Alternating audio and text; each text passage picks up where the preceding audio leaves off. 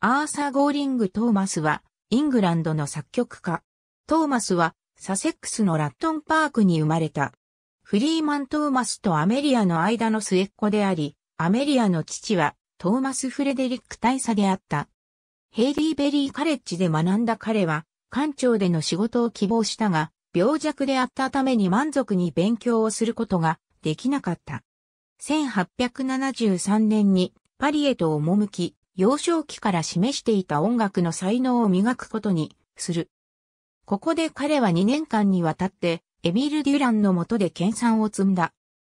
1875年にイングランドへと戻ったトーマスは1877年に王立音楽大学に入学し、3年間エベニーザー、プラウトとアーサー・サリバンに教えを仰ぎ、作曲によってチャールズ・ルーカスメダルを2回獲得した。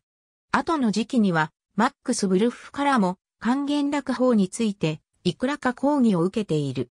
トーマスの最初の出版作品となったのは、1871年の歌曲、レロはヘンリであった。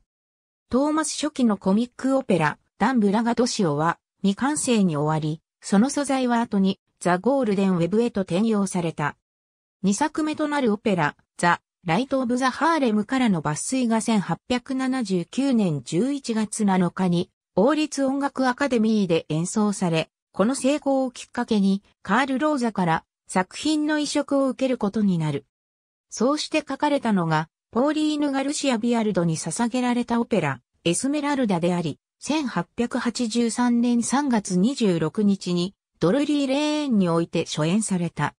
このオペラ中のアリア、王、ビジョン・イントランシングは大変な人気を博した。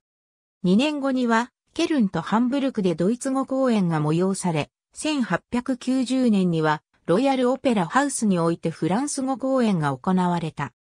1885年4月16日にドルリー、レーンにおいて、トーマスの4作目で最高傑作であるオペラ、ナデシュダがローザによって初演された。1890年には、ブローツワフでドイツ語版が上演されている。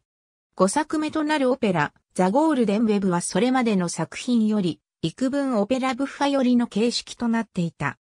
これは2月15日に、リバプールにおいて、カール・ローザ・オペラ・カンパニーによって初演され、ロンドンのリリックシアターでも1893年3月11日に上演された。評判は上々だったものの、作品は短命に終わった。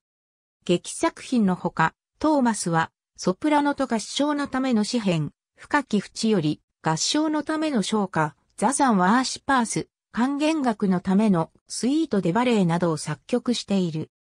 彼の死後、遺構の中からカンタータ、ザスワンザ・スカイラークがピアノ譜の状態で見つかり、これにチャールズ・ビリアーズ・スタンフォードが管弦楽編曲を施したものが1894年のバーミンガム音楽祭で初演された。さらにトーマスは100曲を超える歌曲、二重唱曲を作曲している。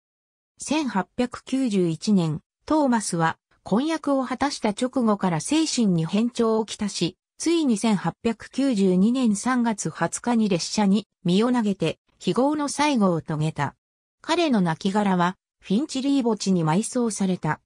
トーマスは19世紀イングランドの作曲家の中でも際立った位置を占めている。彼の音楽には若い頃にフランスで学んだ痕跡が認められ、劇音楽を作曲すること並びに洗練された美しい旋律に才能を見せている。人柄は愛想が良く、自作に対して厳しい批判的態度を向けており、自分に適性がないことには決して手を出そうとしなかった。また、絶え間なく自作の改訂、改変作業を行っていた。注釈出典この記事には、アメリカ合衆国内で著作権が消滅した次の百科事典本文を含む、 Squire, William Barclay, Thomas, Arthur Goring, In Chisholm, Hugh, Encyclopædia Britannica, Cambridge University Press。ありがとうございます。